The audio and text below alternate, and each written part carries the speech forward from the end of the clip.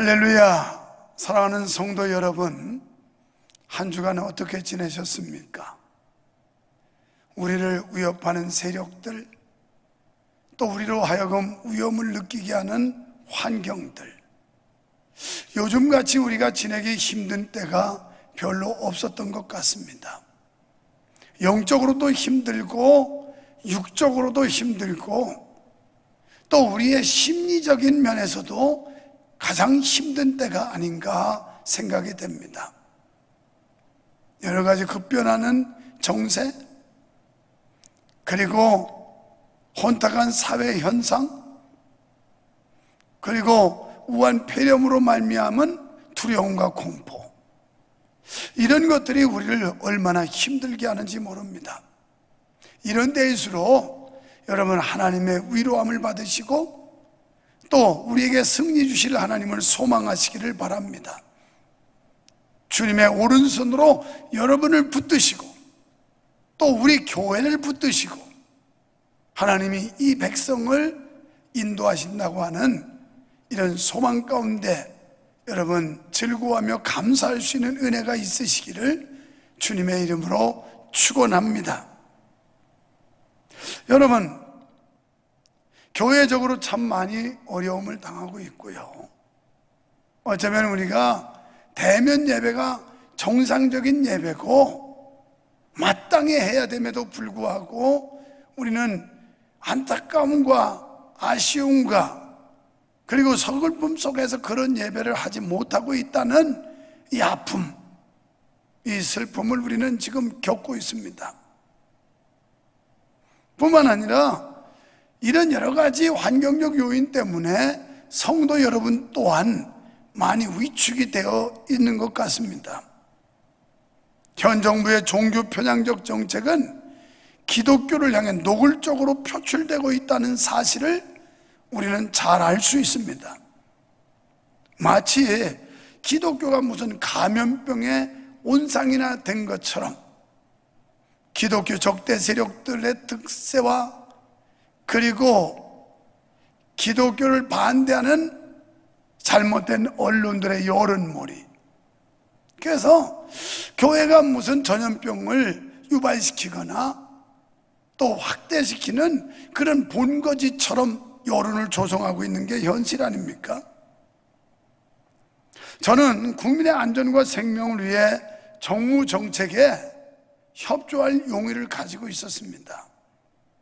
그런데 지난주 월요일 뉴스를 보면서 정말 화가 났어요.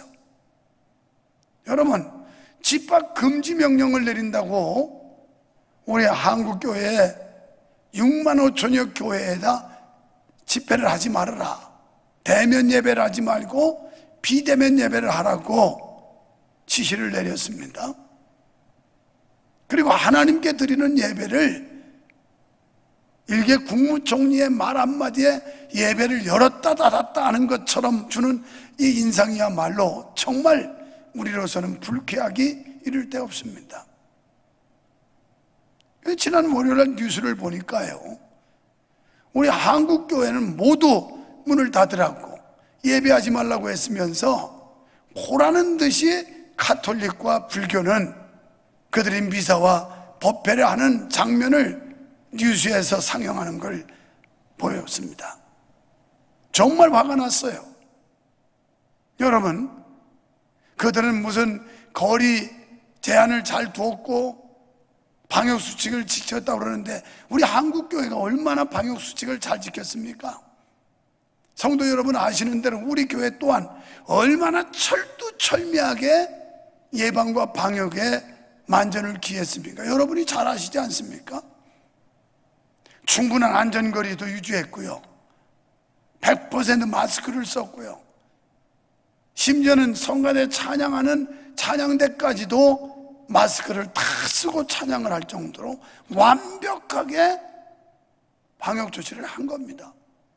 그런데 6만 5천여 교회 가운데 글쎄요, 뭐 10개 미만의 교회에서 확진자가 발생했다고 6만 5천 개를 다 예배하지 말고 막는 행위는 도저히 이건 우리 기독교인의 신앙 양심으로 이해가 안 되고 받아들일 수도 없는 조치라 저는 그렇게 주장합니다.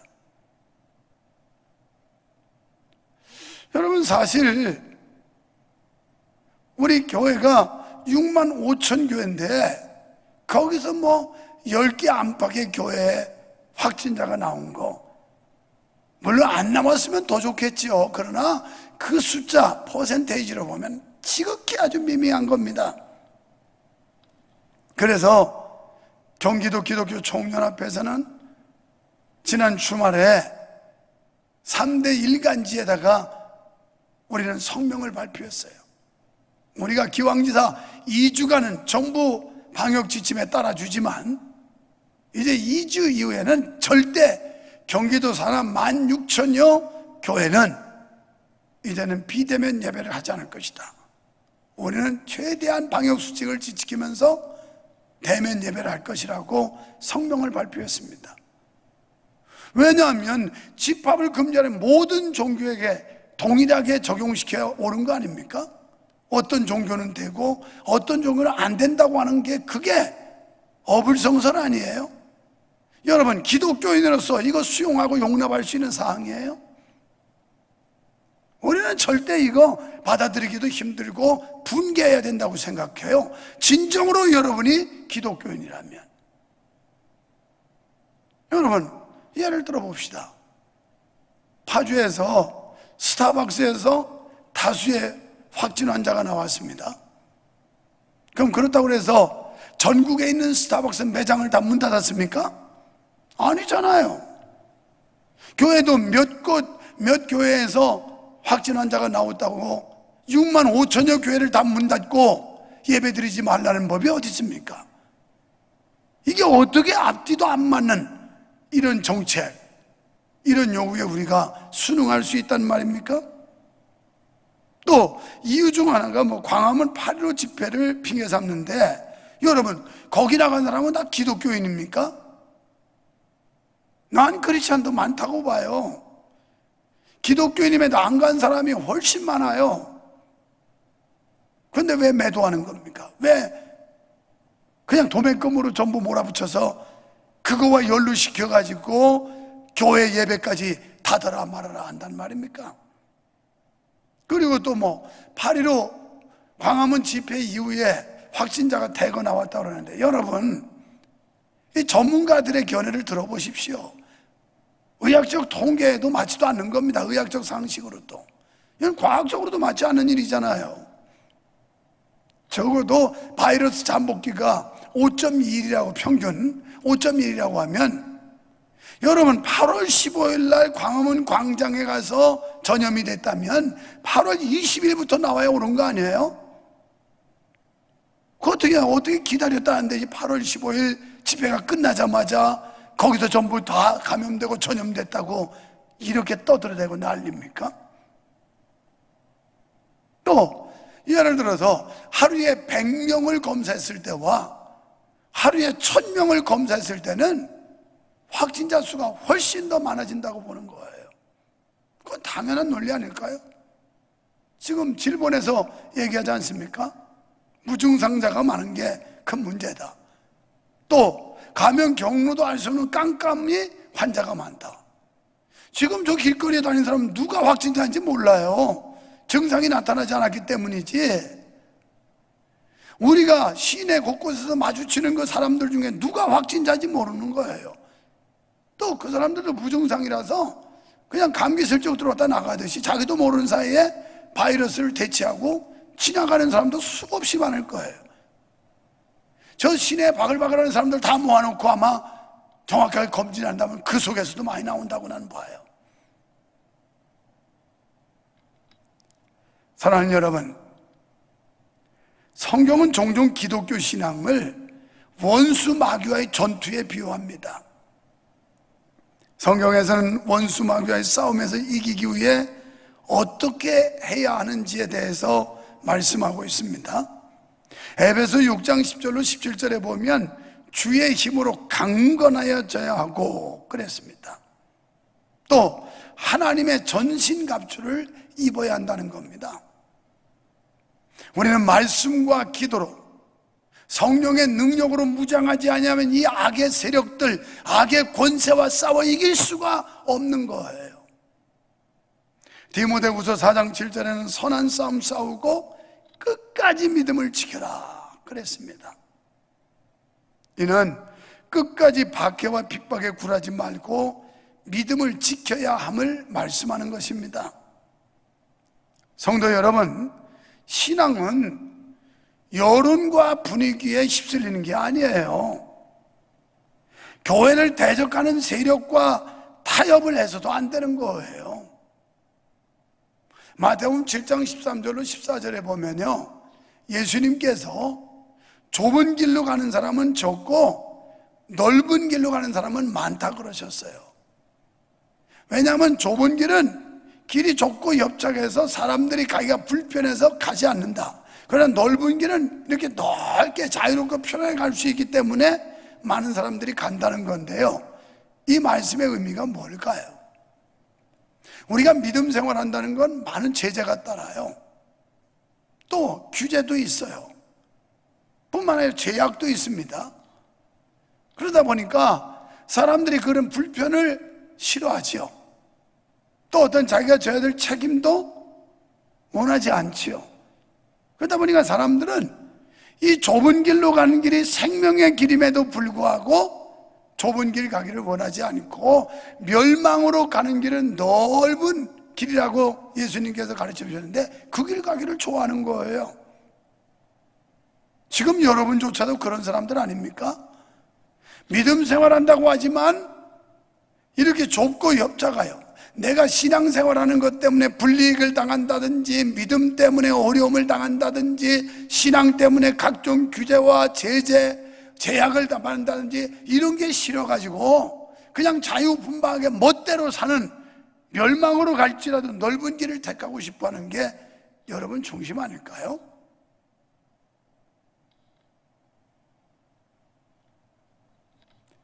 여러분, 그러나 이 길이 생명의 길이기 때문에 우리는 반드시 이 길을 가야만 하는 줄 믿습니다. 여러분 엘리야 시대의 아방이 이방 년 이세벨을 아내로 맞아들여요. 그런데 이 이세벨이라는 이방 여인은 시집을 오면서 바알이라고 하는 우상을 갖고 들어옵니다.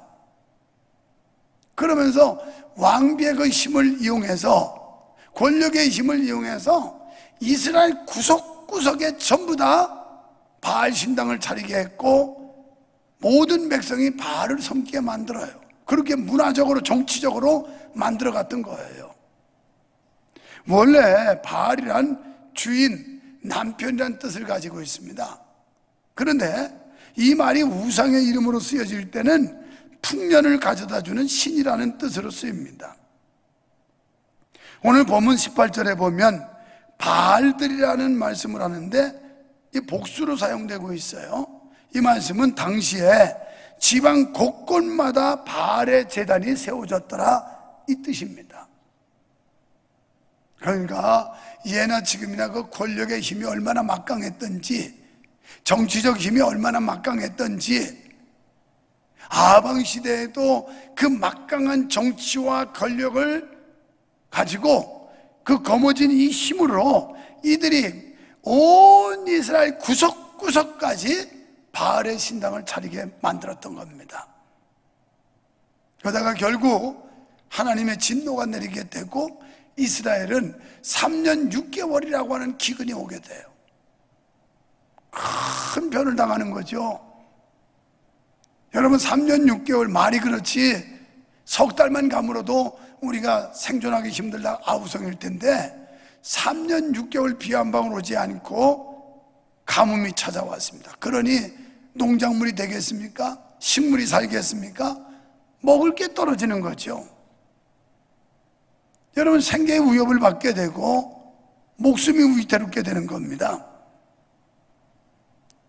그때 13절에서 보면 이세벨이 여호와의 선자를 다 죽였다. 이 이방 여인 왕비인 이세벨이 바알이라고 하는 우상신을 가지고 와서 그걸 반대하는 여호와의 신, 이 여호와의 신을 섬기는 선지자들을 모두 죽였다는 거예요. 엘리야 시대에 하나님은 죽은 것 같이 보였을 겁니다.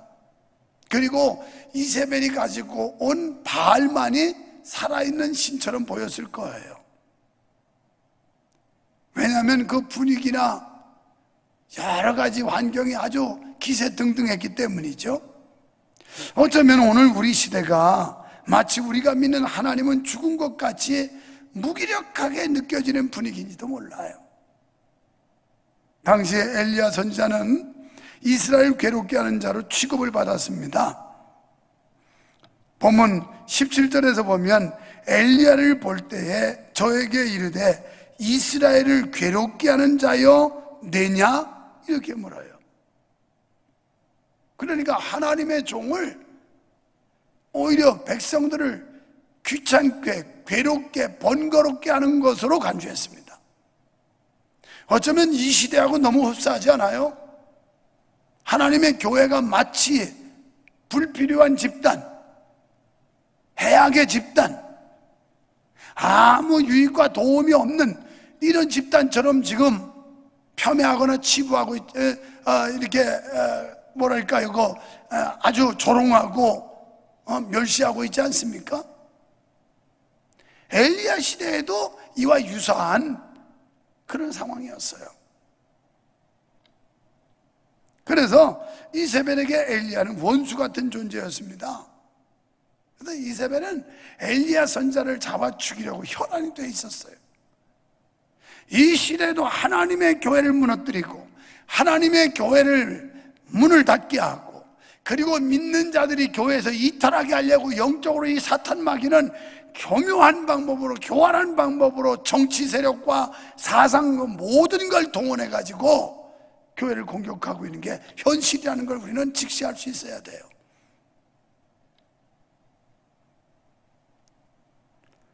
요즘 감염병 확산을 기독교의 프레임을 거는 것처럼 말입니다. 여러분 많은 전문가들은 예측 갖고 예견했던 거 아닙니까? 이건 쉽게 끝나지 않고 더 위험한 때가 온다.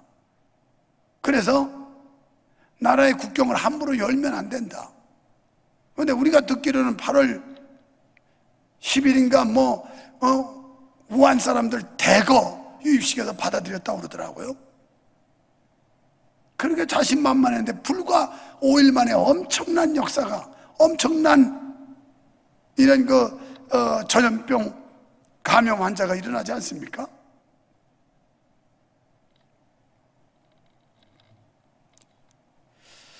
자, 당대의 이스라엘 백성들의 신앙이 떨어지고 갈팡질팡했어요. 지금 우리 기독교인들이 마치 뭐 그 어떤 시대의 그 조류랄까요? 이런 상황들, 우리를 그좀 곤란하게 하는 이런 분위기들 여기에 지금 현대 그리스도인들이 갈팡질팡하는 것처럼 엘리야 시대의 이스라엘 백성들이 갈팡질팡했어요. 마태복음 24장 11절에 보면 예수님께서 불법이 성행함으로 많은 사람의 사랑이 식어지리라. 이런 불법들이 득세를 하고 성행을 하다 보니까 오늘 기독교인들, 예수 믿는 사람들의 마음속에 그 하나님을 향한 뜨거운 열정과 주님을 향한 간절한 사랑이 식어지는 거예요. 믿음의 열이가 점점 식어지는 겁니다. 이건 이미 예수님께서 예언해 놓으셨어요. 이런 때가 올 것이다. 이런 사람들 또 믿는 자들이 주님을 점점 멀리하는 때가 올 것이다. 그런 때가 지금이 아닌지 모르겠어요. 이때 21절에서 엘리야는 선포했습니다. 엘리야가 모든 백성에게 가까이 나아가 이르되 너희가 어느 때까지 두 사이에서 머뭇머뭇하려느냐 여호와가 만일 하나님이면 그를 쫓고 바알이 만일 하나님이면 그를 쫓을지니라 하니 백성이 한 말도 대답지 아니하는지라 그러니까 너희가 어느 편에 설 거냐는 겁니다 사랑하는 우리 명성교회 성도 여러분 이런 시국에 우리가 어느 편에 설 것이냐는 겁니다. 죽어도 하나님 편에 설 것이냐 아니면 세상 편에 악한 사상 편에 설 것이냐 하는 기로에 놓여 있는 거 아닐까요? 그러면서 만약에 바알이 하나님이면 그를 쫓고 여호와가 하나님이면 그를 쫓아라 선택하라는 겁니다.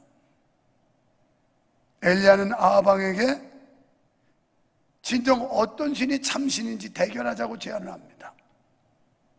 증명해 보이겠다는 겁니다. 그래서 450명과 엘리야 선지자가 단독으로 대결을 하게 됩니다.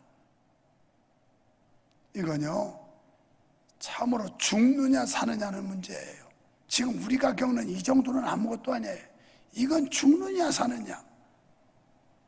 일생일대 엄청난 대결이었습니다. 그러니까 여호와의 신앙이 완전히 소멸되느냐 아니면 다시금 여호와의 신앙이 회복되느냐의 기로에서 과연 어느 신이 참 신인지를 증명해 보여야만 했어요. 이스라엘 백성들로 하여금 신앙의 결단을 내리게 하기 위해 엘리야는 목숨을 걸고 갈멜산 정상에 우뚝 섰습니다. 이때는 아방이 엘리야를 죽이려고 이스라엘 전역에 지명수배를 내린 때였어요. 그러니까 엘리야 선자는 사지로 뛰어든 겁니다. 아방이 이 엘리야 선자를 죽이려고 전국에 지명수배한 판에 아방한테 가서 과연 어떤 신이 살아있는 신인지 대결 한번 해보게 해라. 내가 살아계신 신이 어떤 신인지 증명해 보이겠다. 이렇게 선언한 거예요. 그는 외쳤습니다. 너희는 왜 하나님과 바알 사이에서 머뭇거리냐? 둘 중에 하나를 선택하라. 성도 여러분, 우리는 자주 이렇게 선택의 기로에 설 때가 많습니다. 우리의 삶 속에서 신앙을 선택할 거냐, 세상을 선택할 거냐, 하나님을 선택할 거냐, 사탄이 좋아하는 일을 선택할 거냐, 말씀을 선택할 거냐, 세상의 잘못된 사상을 선택할 것이냐, 이런 기로에 설 때가 참 많이 있습니다. 성도 여러분, 이 말씀이 오늘 우리를 향한 하나님의 음성으로 들려주시기를 축원합니다. 엘리야가 외친 음성 너희는 왜 하나님과 바알 사이에서 머뭇거리냐? 둘 중에 하나를 선택하라. 사랑하는 명성교회 성도들아 너희가 어떻게 하나님과 세상 사이에서 머뭇거리느냐? 너희들은 둘 중에 하나를 선택하라는 하나님의 음성으로 들려주시기를 축원합니다. 오늘날 성도들 중에 하나님과 세상 사이에서 머뭇거리는 성도가 많습니다 여론에 휩쓸리고 감정에 치우치고 세상의 사상과 노선에 좌우되는 사람들이 얼마나 많은지 몰라요. 엘리야는 450대 1로 대결했습니다.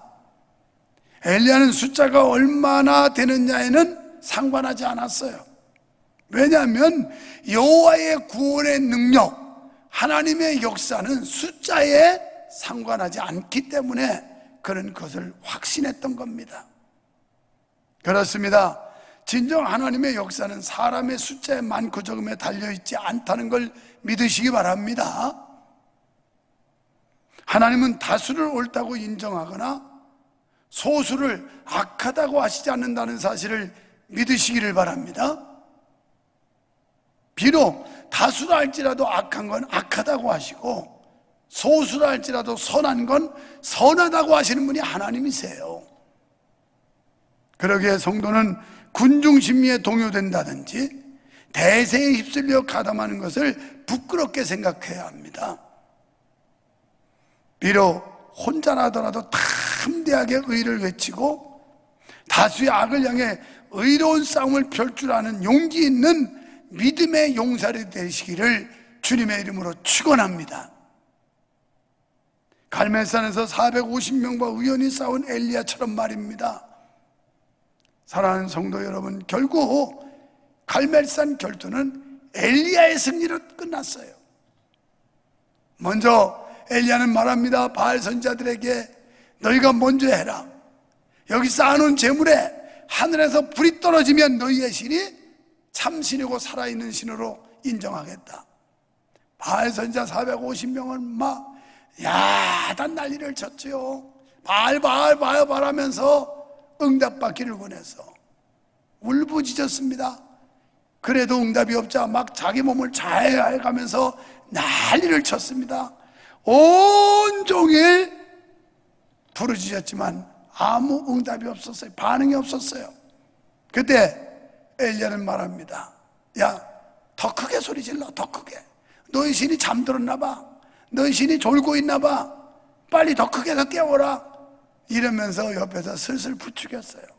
그러니까 얼마나 이들이 열받았겠어요. 막 자기 몸을 자해가면서 울부짖었지만 역부족이었어요. 결국 엘리야는 이제 그만해라.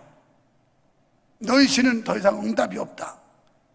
그러면서 엘리야는 확실하게 하기 위해서 다시 또랑을 파고 물을 갖다 더 붓고 왜냐하면 어떤 그 오해의 소지를 없애기 위해서 그리고 하늘을 향해 손을 들고 외칩니다.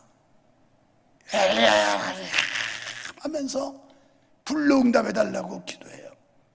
그때 하늘에서 불이 확 내려와서 재물을 태웠습니다.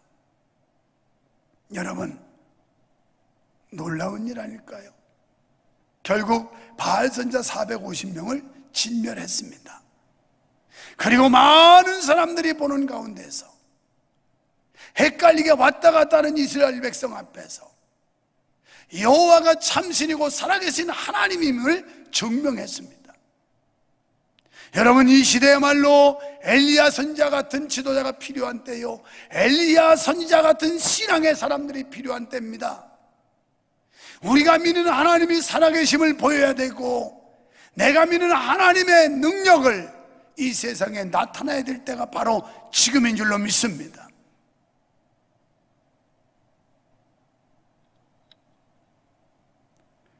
사랑하는 성도 여러분, 바로 바알과 여호와의 대결은 잠자는 신과 깨어 있는 신의 대결이었습니다. 여기 본문에 나타난 엘리야 선지자와 바알 선지자들의 투쟁과 갈등은 오늘도 성도들이 치러야 할 선한 싸움이요 거룩한 싸움인 줄로 믿으시기 바랍니다. 왜냐하면 성도는 너나 할 것 없이 이런 도전을 받기 때문이에요. 우리가 천국 갈 때까지 이런 도전은 끊임없이 계속 생겨요. 어차피 우리가 맞서 싸우지 않으면 안 되는 거예요. 우리가 싸워서 물리쳐야 되고 우리가 믿는 하나님이 살아계심을 보여야 되는 겁니다. 그런데 우리는 어떠한 싸움을 싸우고 있습니까? 하나님의 거룩한 싸움을 싸웁니까? 아니면 대세에 휩쓸려 침묵으로 거짓 신앙을 용납하고 우상 앞에 세상 앞에 굴복하는 비겁한 삶을 살아가고 있습니까? 과연 여러분의 신앙은 전자입니까? 후자입니까? 여러분 마음속으로 대답해 보세요. 제발 바라기는 후자가 되셔서 여러분 아니 전자가 되셔서 우리는 거룩한 싸움을 싸울 수 있게 되기를 소원합니다. 비겁하게 비굴하게 도망가거나 무릎 꿇는 자가 아니다. 엘리야처럼 당당하게 갈멜산 정상에 우뚝 서서 내가 믿는 하나님이 이런 하나님이라고 크게 외칠 수 있는 저와 여러분 되기를 축원합니다. 이스라엘 백성처럼 양다리 걸치고 있지는 않습니까? 여러분 어느 편에 서시겠습니까? 살아 역사하시는 하나님 편에 서시기를 축원합니다. 엘리야의 하나님이 나의 하나님이 되시고 엘리야의 하나님이 여러분의 하나님이 되신다는 사실을 확실히 믿으시기를 축원합니다. 불능답하신 엘리야의 하나님 오늘도 불같은 은혜를 주시고 불같은 능력으로 역사하셔서 믿는 자를 보호하시며 믿는 자에게 소망과 용기와 담대함을 주셔서 이 어둡고 악한 세상과 싸워 승리하게 하는 놀라운 역사와 영광이 있기를 주님의 이름으로 축원합니다.